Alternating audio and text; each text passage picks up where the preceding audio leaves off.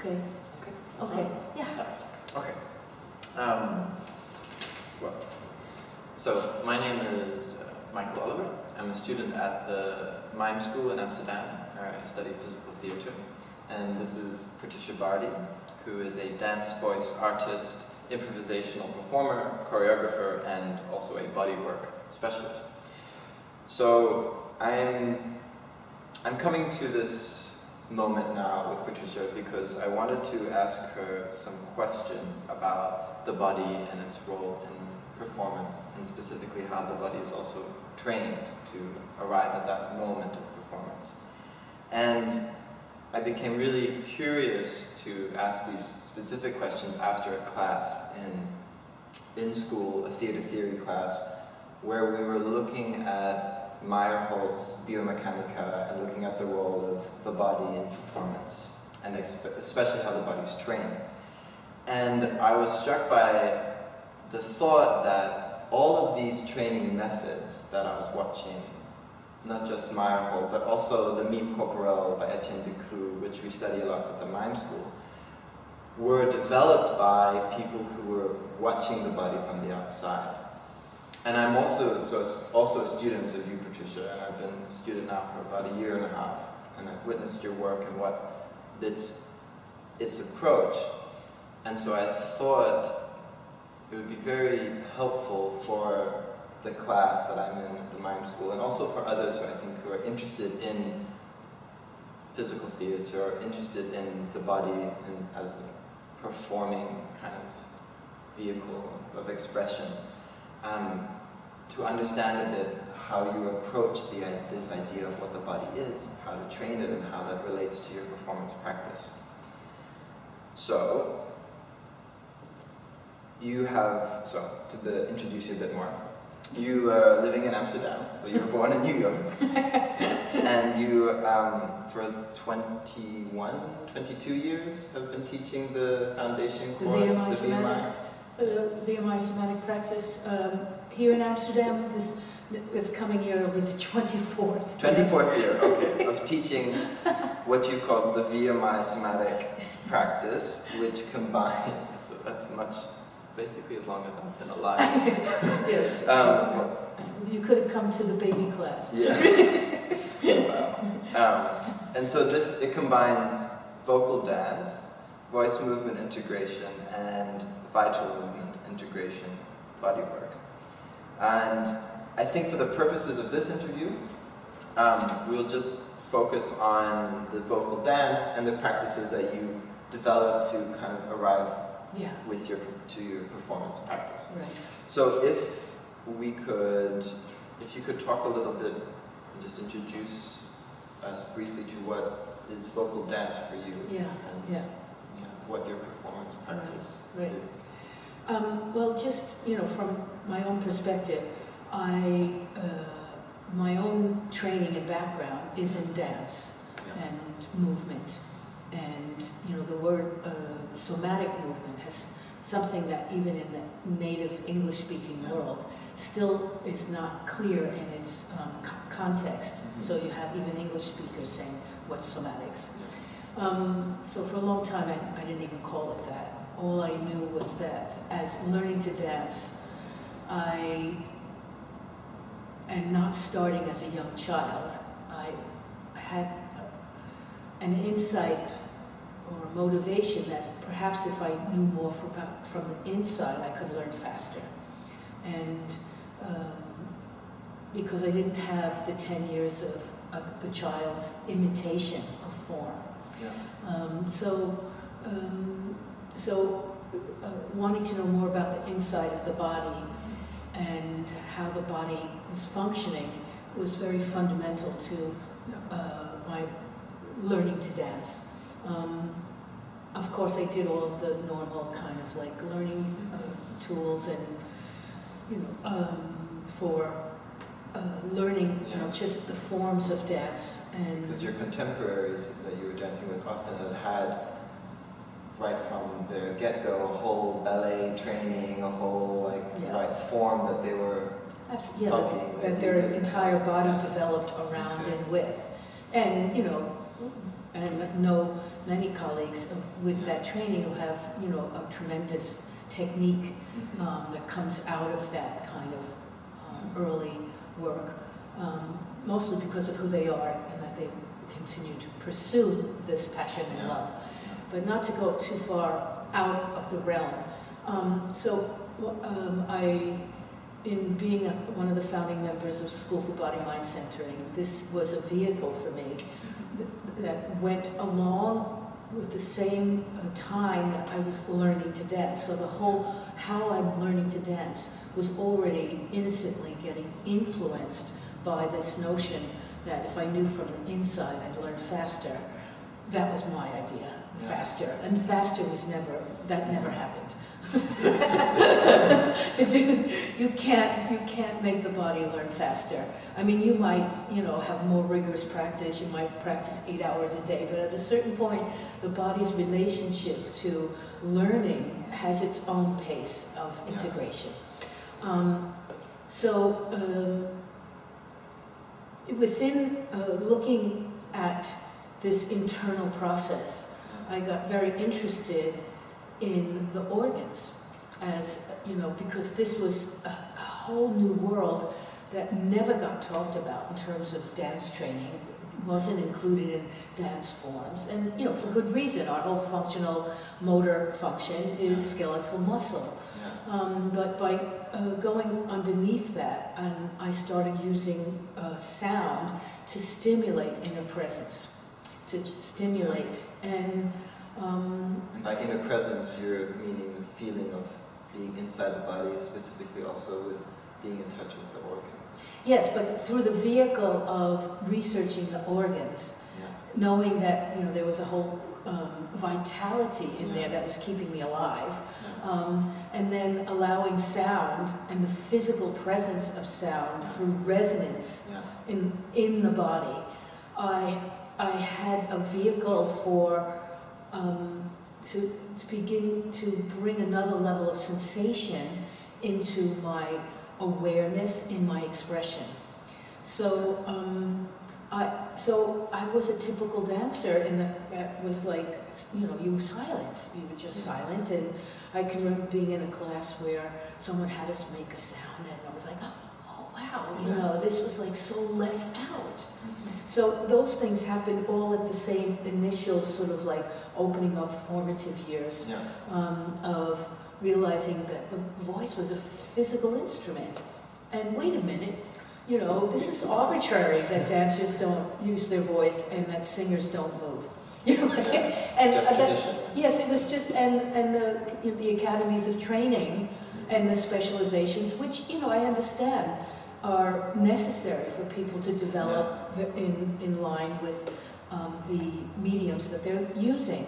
I mean, it, um, I, I didn't really look at musical theater. That was well, well out of my realm of seeing people doing song and dance. And- I'm going like that because it never, it never appealed to me, and that wasn't really what I was looking for. I was looking for the inclusion of sound as a physical presence. Yeah. What happened from the inclusion of sound as a physical presence is that my voice developed.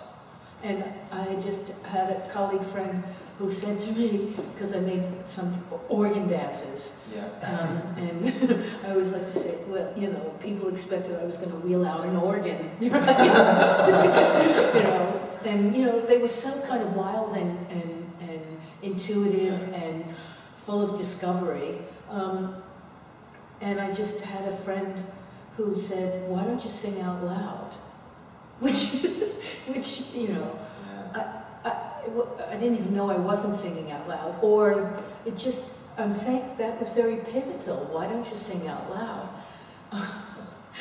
so So that, that you're already singing on the inside. Yes, yes, and yes, and it was. I, I don't, I don't know from the outside what. Uh, I don't can't really say what I was doing on the outside. I just knew what I was doing on the inside.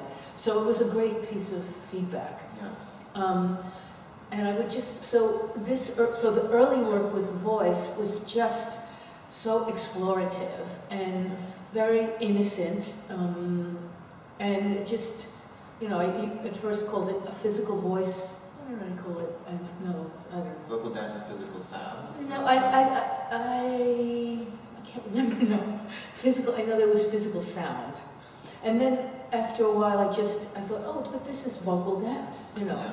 This was a good description. I mean, I've always tried to use descriptive words Mhm. to, um, to identify um, what I'm doing. Mhm. So, I mean, it wasn't like I'm going to make vocal dance. It was this evolution of um, a, a perce- perception of sound becoming a physical instrument. Yeah. And then all my explorations um, around using sound and movement in dance, because I was then making lots of um, Yeah. uh, research into and then performing pieces was it was really when I put sound into the equation and Yeah. used my voice while dancing, it had a profound effect on my relationship between attention and intention.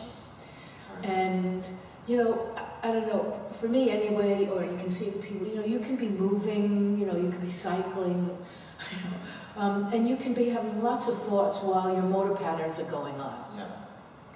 And so for me, that's sort of like the attentive state doesn't have to be there and I can, you know, kind of fulfill through motor memory what needs to be done. Right. Um, so by adding voice, it, it, it vitalized and intensified the, um, the feeling in my movement and it allowed me to really feel far more directly an attentive state that was so much richer in my performance than, on- than being silent. Um, and then, of course, by adding voice, music and language, and therefore a, a kind of look at performance from physical theater, Mhm. you know, it could just, there was an evolution, right? There was an evolution that was like one, you know, one, one level of understanding to the next. It wasn't, of course, it didn't hatch all at once, but um, as a dancer, I felt like I was beginning to have a way to have my voice. You know, and not the voice as a, you know, Yeah. a singing tool, but my voice as an artist, right? And to be able to bring in what I'm thinking about and what what's the world around me. Mhm. Um, and of course, from the from a physical theater, you know, to be able to invent characters and play with them and play Yeah. with them in relationships. So it just spread out. But for me, it's still vocal dance Yeah. because the body and uh, the flow of movement Yeah. are consistently what's getting informed. And, you know, if I look at this point in my life, um, any performing artist, from musician to actor to dancer, it's the body as the instrument. Yeah. You know, then Yeah. how we choose to express from that, of course, is a training, is a sensibility, mm-hmm. is a soul training, you know, in terms of, Yeah. but the body is the core of it. But it's interesting that in this whole arc you're talking about, the place that you've always been very connected to in terms of the body is the, the perception Yes. of like what are you feeling and, and where where's the detail in that? Where is the, also the expression of that? Yeah. And that seems to really have defined the whole arc of your moving through this exploration. Yeah. And, and thinking of the body as the instrument, it's then interesting that in other training systems, like for mime corporel, it's the body is the instrument, but it is very much in a particular form that, and the training is needs to replicate that form in your own way, but Yeah. there is, it's very precise. Yes. So it's interesting that also for me, uh, being part of what you've found, how you have found, because you found a way to teach what you've, this exploration Yeah. you've made over these last 24 years, and I'm only coming in right, right at the very end, or like the most recent times. But the kinds of training methods that you're using, I find that very interesting to, in the comparison with this same schooling education that I'm having now, Yeah. because when it's strictly think, speaking about this mime corporel form, or you could think of other physical theater Yeah. forms that you must replicate. And I was wondering how you how you perceive this relationship between this perception of the body Mm. and discovering things, and also the the practice of organizing the body in a particular way, Yeah. so that you may have these kinds of expanded possibilities in the performance moment that I think these uh, the physical trainings are, are genuinely hoping for. And I, and I mean, obviously, when I say the body, I also really mean the voice too, in this context, speaking with you. And it's another question that's very interesting why these theaters also train the body but then train the voice, but this kind of integration doesn't always happen in this kind of training process. So, speaking about things like the active breath um, kind of method that you've developed, um, and the sort of floor work that you do to integrate the body and the voice together, if you could explore with me how you how you think that that form, because there is a particular form of the body that you use, Mhm. a particular kind of shape, relates to the development of the kind of performer for the performance moment. Yeah. Yeah. Well, I think the key is when you use the word practice. Yeah. Um, because uh, in, the, in the work that we've been doing in the VMI practice, the word, the, the most essential word is the word practice. Because I felt in observing uh, what do people need um, to develop themselves as a practitioner, that was very important to me. How, what has, what does a practitioner need?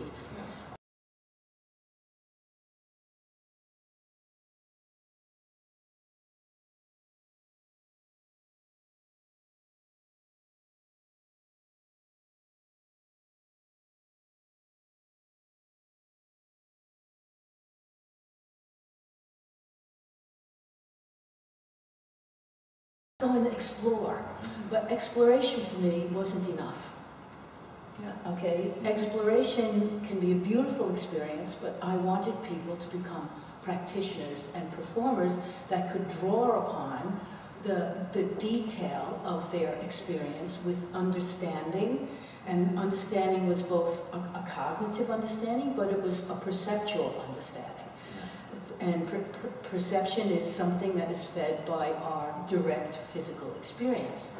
So things like active breath and floor work, um, looking at um, different body systems, um, looking at defining very much focuses of, you know, if I'm going to use my voice, um, how am I going to use it as a communication tool? And that's what I feel a performer is. They, they need to communicate something, but they have to communicate it first to themselves so they know what they're saying, right? You know, Yeah, what they're doing. What in what they're doing and yeah. what they're doing. But also within that doing, that what's underneath their doing that's informing the experience for themselves. Right. So it's really important to um, define experience in more detail. And what that is, is observable states, Okay. right? Because, you know, like, you know, you can be, I don't know, in this room and you can say, oh, yeah, it's a white room, and you might miss that there's this many uh, windows, that right now there's scaffold in front, that, oh, there's an orange tag over there. So, you know, we can say, yeah, I'm in this room, or I'm in this room, and there's so much detail that can start to inform how I experience this room. Mhm. Oh, and, and now I'm sitting, you know, we're sitting very closely here, and how am I experiencing you?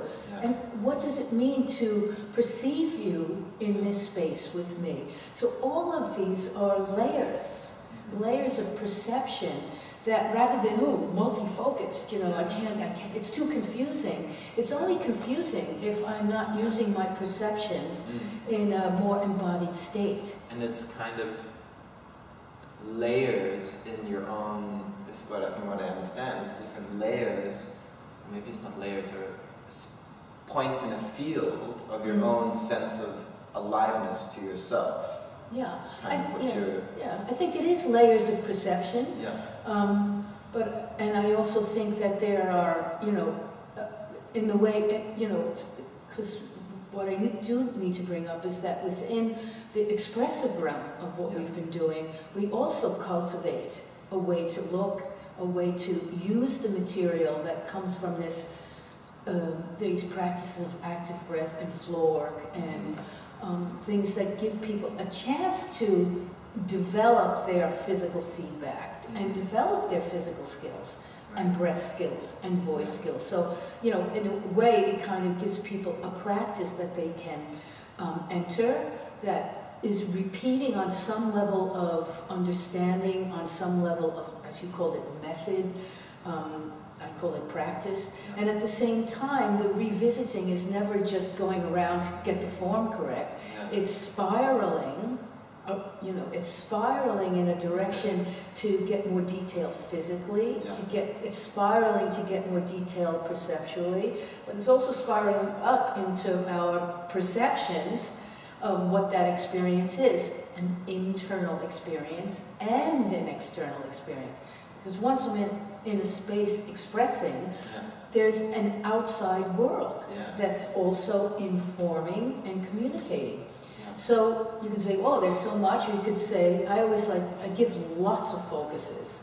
Um, as, but those are like become tools of taking my perceptions and saying, okay, I have this spectrum of possibilities, and, and extended voice focuses as an example.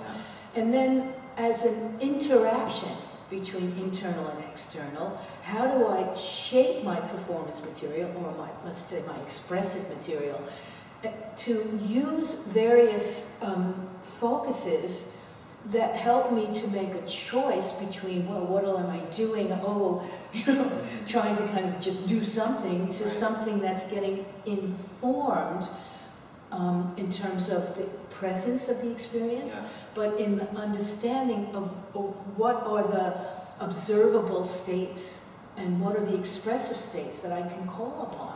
So the more you can have these tools, and none of the none of the things we're doing, I always say, none of them are written in stone. Yeah. Like you know, it's not the form Mhm. that's creating it; it's the your relationship to how you are working with the material. Right. And then these focuses that all work that are both physical, Mhm. um, For example, Yeah. maybe it's nice to hear a few examples of what these focuses are. Okay, so for, for, in terms of the, I, um, you know, uh, in terms of extended voice focuses, you know, I might, I might talk about just very simple rudimentary idea of sound and music making, you know, uh, you know, modulation from fast to strong, um, uh, sparse, you know, one, one sound at a time, um, clusters of sound to single sounds, um, intensity, modulation from something that's robust to something that's fine, pitch change, changing the quality from a violin to a trumpet. Yeah. You know, so it, you know, you can, it And gives, And that's also, that's in the voice. And then you also have the same focuses with looking at the movement in space, you know, that we've looked at with the, Yeah. the rhythm or changing the time or changing perspective of where you are Yeah. or repeating Yeah. stillness yes, in movement Yeah. then yeah, we've done a lot with what we call whole body gesture, and then, Mhm. it, you know, and I've come, the whole body gesture be, you know, one way to describe it is the, the inner narrative, and you know, as a dancer, um, as a background, uh, dancers are more poetic. In, in the, their sense of narrative isn't here's the story you state in the beginning and then mm-hmm. here you know you take it through its plot you know it has its climax and it has its resolution and mm-hmm. you know and you know that's a convention that you know if I go to the movies I like to have that right? At the same time I like when the narrative becomes more interactive with the present and the past and the future. And so in a narrative is an unfolding presence, but it engages the, the imagination into the physical feeling states that you're exploring Mhm. in your whole body gesture. Yeah. And so that, and so why I say whole body is that, you know, it's not just the fingers and, you know, kind of pointing to something, Yeah. but there's a flow through the body Mm. and there's a memory in that that you can feel that you can unfold um, the inner narrative because feeling states and states of awareness are always fluid Yeah. and at the same time, we want to use the intelligence of our cortical brains to say, I can track, I can, um, I can perceive, I can continue to dialogue with the information that's coming out in my expression. How am I going to shape it now? So, you know, stillness and extension, or, you know, I love change perspective, you know, change perspective, or repeat, or contrast, or change the rhythm. All of these, uh, we're- we use them to kind of explore the inner narrative, so it's start, you start to engage with your material in a more defined way. You see, and then I feel, well, that more defined way becomes the training for the performer to use a creative process that's related to inner presence and ex- and outer presence as a you know and uh, as a way to to know who am I in this moment. Yeah. and that for me is the deepest communication. As a performer I always want to uh, uh, if I can draw people into the experience I'm having they also have an experience Yeah. if they're watching a form, they watch a form. Watching and perceiving are not the same things. Right. And so, You I know we have only a few more minutes, Yeah. um, unfortunately. But I, so these last, talking about these focuses and the kind of improvisational moment, Mm. um, are some of the, uh, the tools, very important tools that you've been working on and Mm. developing for Yeah. the performer, performer and their practice. And also, within that, there's the solo and then there's the ensemble. Yeah. So um, that, you know, so we've learned a lot about how, how to work with your material, but in an ensemble. So, and it can be very revelatory for people to understand the difference between what I'm doing to how do I, I like to just call it serve the image, Mm. you know? Yeah. So that serving the image has a kind of overview Yeah. and we, you know, to reduce the kind of like observations in an ensemble, Mhm. there's physical, spatial, auditory, and time. Right. And these elements are, are interacting all the time in an ensemble. I mean, they're also interacting in a solo, but, you know, I'm looking with people to, to be able to take, how can I take a thread from myself, you know, from this training we're doing, and also be able to um, empathize with the material on the, that I'm receiving and seeing and observing. Yeah.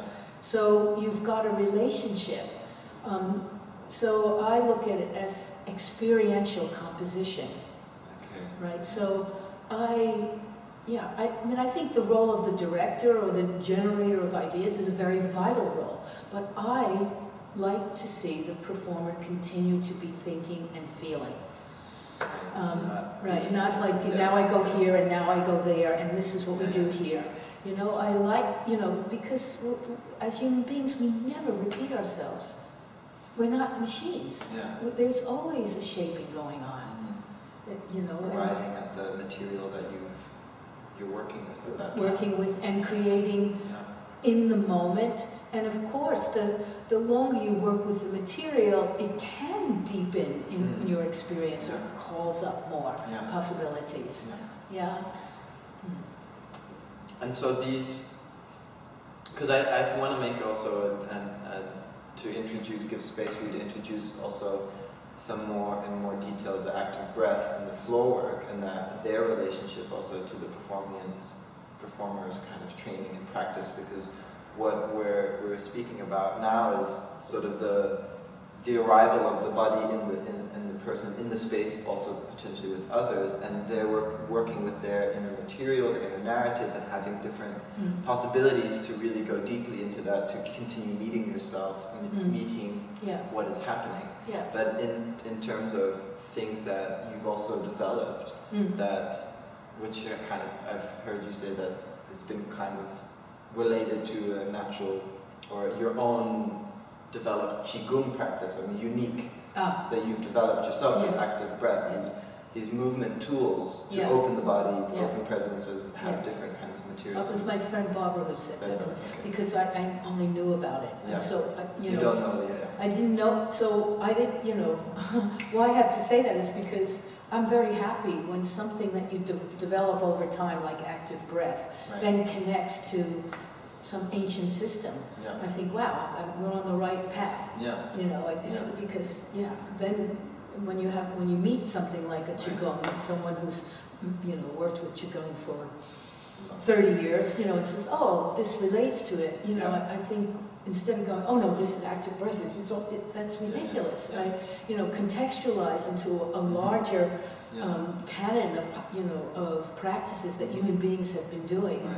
Is, gives it more strength, Yeah. gives it more strength. And so what would you say is active breath then as a, as a practice? Yeah. Um, well, uh, okay, as a, as a practice, it evolved over time from like, how do you start a class? how do you, what do you give to people, you know, that we can enter some realm of working together? Um, and that's not like form oriented, you know, to get, but is preparing the body to receive and allowing the body and the rhythms in the body to start to be felt. Mhm. Um, and that breath is, is the bridge between voice and body, or voice and movement. Um, and breath is also the, the tool for beginning to dialogue with sensation and feeling in the body.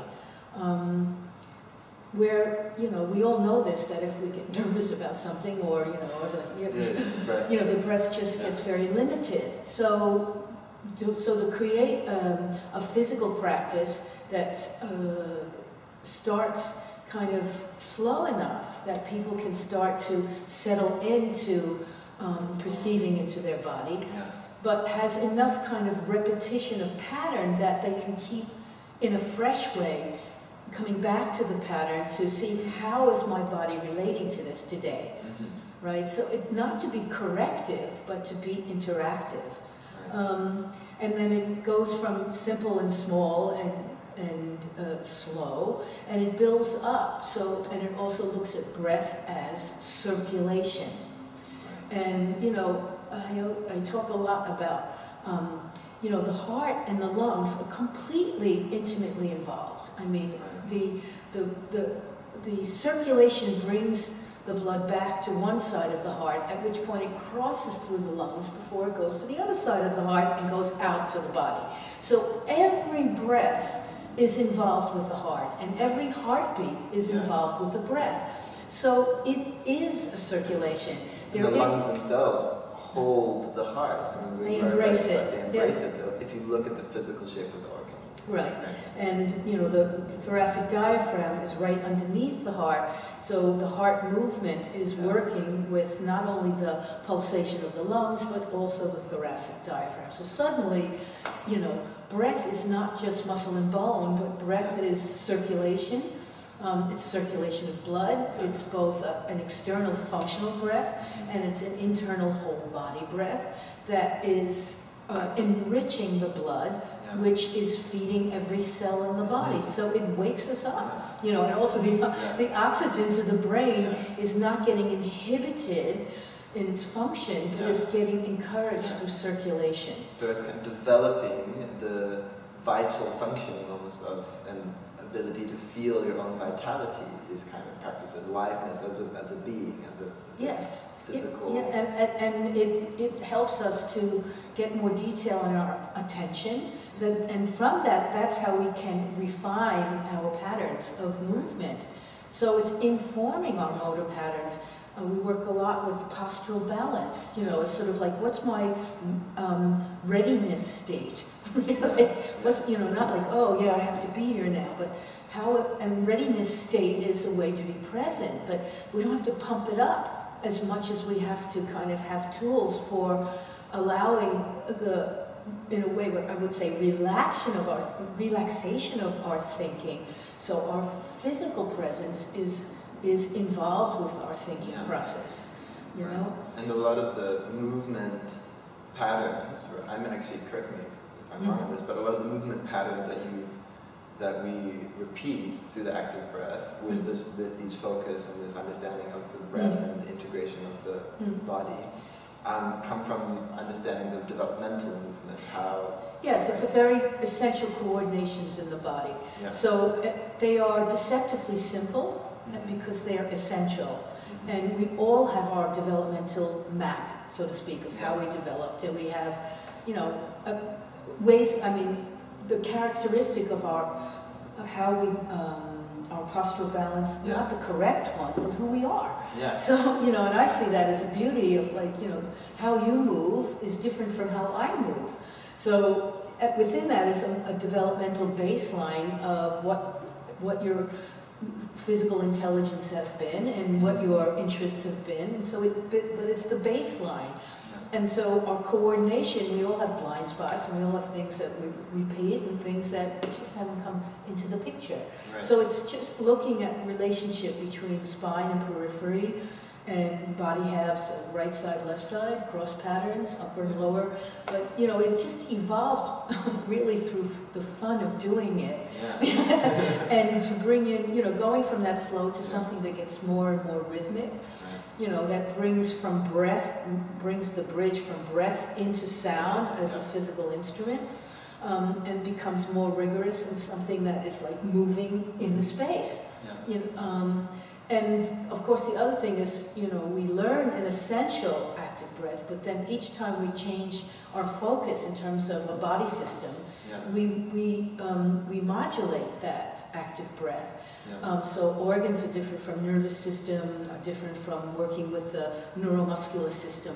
So you have this um, kind of like genre of working yeah, and um, within the active breath, and but then you have ways to bring your, you know, to um, to cultivate your perception yeah, so that each layer in the body, you know, becomes more uh, available.